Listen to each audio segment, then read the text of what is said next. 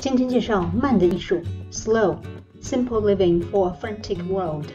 作者 Brooke McAlary 是澳大利亚作家、播客主持人，同时也是两个孩子的母亲。在饱受产后抑郁的困扰后，她放慢生活节奏，远离物欲漩涡和攀比游戏。本书介绍了作者尝试慢生活的探索之旅，通过培养自我意识，舍弃闲置物品，学习专注生活，坚持自我价值观，留心生活中的点点滴滴。花时间去观察和感受，来实现慢生活。慢生活第一步，清理杂物。在清理之前，要清晰而简明地定义自己生命中最重要的事，将自己认为重要的事列成一份清单，为慢生活提供参考。在清理的过程中，大多数人都是计划彻底清理杂乱，然而却难有进展，进而造成了更严重的混乱，因而信心全无，满心沮丧。作者的建议是。不要想着一口吞下一头大象，而是一次咬一口。从一次清理一只手提包开始，下一次清理汽车前两排座椅，再下一次清理厨房的一个抽屉。把任务分解为一次一小份，发现坚持不懈和慢慢努力的好处。清理杂物会遇到许多障碍：一、恐惧，审视自己对未知、变老、失去身份认同的恐惧，认识到不再需要的物品只会把自己困在原地。舍弃不再使用的颜料、收集的漫画书、很久没碰的吉他、一时冲动买下的滑雪板。只有承认生活和自身的改变，果断放弃，才会用新的思考方式探索、尝试新事物。二、外部阻力。开始清理杂物时，可能会认为房间的杂乱全是由于孩子或家人的东西太多，将别人的物品当作无法完成清理的借口。请先审视自己的内心。先把所有属于自己的杂物清理干净，专注于自己能够控制的范围，忍住喋喋不休的絮叨，用行动来影响他人。同时，对家人的期待也要合理，要做出让步，不必强求完全相同的理解。三、内心阻碍，如果遇到原因不明的原地踏步，可以重新考虑一下自己的初衷，想要达到的目标，激励自己继续前行。也可以进一步将任务拆解成更小的步骤。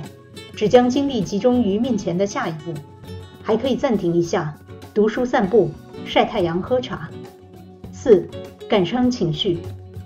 如果放弃附带情绪的物品时感到困难，问自己下面三个问题：这件物品究竟意味着什么？这件物品代表着怎样的情绪？我会把这件物品摆放出来吗？只要认真思索对这些物品难舍的原因，就能够做到放手。五、花掉的钱。经典的巨大障碍之一就是顾虑自己已经花掉的钱，这会让内心充满愧疚和负罪感。原谅自己，果断舍弃，身体和心灵会达到双重放松。六，以防万一，很多舍不得丢掉的东西，是因为觉得将来可能会用到，然而这只不过是拖延做决定的借口。认清自己真正计较的是什么，今后更严格的控制物品进入家中，妥善处理舍弃物品。路边回收站、慈善机构捐赠、网站售卖、修理再用、卖掉送人、重复使用、回收利用、有机物堆肥，都是处理的方式。在清理的过程中，也要做好思想准备，收拾的过程一定会有反复，需要重新调整，定期检查。第二，过不持有的生活，学着花心思筛选出生活中真正需求的物品，是打造和保持慢生活的重要部分。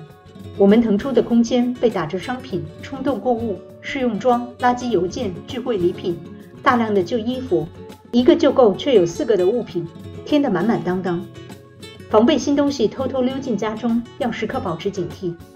慢生活不仅仅是清理杂物，同时要通过以下的方式保持不持有：共享、借用、租用、保养、修理、买二手、支持良心品牌等方式获取所需物品。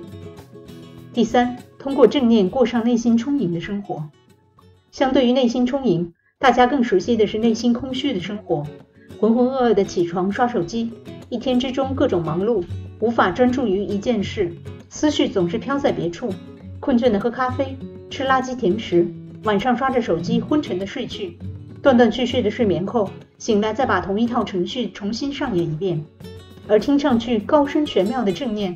仅仅是花时间去察觉简单的事物，天空的云卷云舒，风吹过的声音，白墙上的光线，雨后的气息，花朵绽放的力量，察觉自己的心跳，察。觉语言的力量。在察觉这些之后，正念就不知不觉到来。通过内观，主动去觉察，觉察自己感觉到的、听到的、尝到的、闻到的、看到的，觉察所有的情绪和反应。无论身处何方，任何时刻都可以练习。比如在厨房烹饪时、超市排队时、搭乘地铁时。当然，也可以通过做以下的事物来实现，比如深呼吸、做运动、散步、瑜伽、种植、听音乐等等。第四，远离网络，重建人际关系。互联网给人们带来许多矛盾的产物，人们看似融入，却无比孤立；看似得到更多，却愈加不满足。因此，我们必须带着意愿使用科技产品，妥善利用它，用它将生活变得更好，然后把它放下，去做些别的事情。吃饭时不看电子产品，设定上床前和起床后的步骤，不看电子产品，限定每周使用电子产品的时间，关闭消息提醒功能。删除多余的手机应用程序。第五，构筑让自己放松自在的心灵小屋，善待自己，才能成就别人。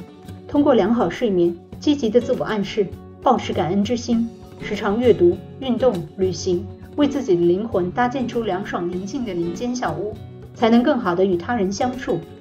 第六，保持相对的平衡，在不同的事情上分配不同的分量。不必每天都面面俱到，每时每刻满足所有人的期待，允许自己不完美。在慢生活的道路上，固态复萌或走错退步都是极为正常的。察觉以下方面的变化，包括内观、锻炼、饮食、睡眠，及时进行调整。如果束手无策时，做深呼吸，将节奏放慢。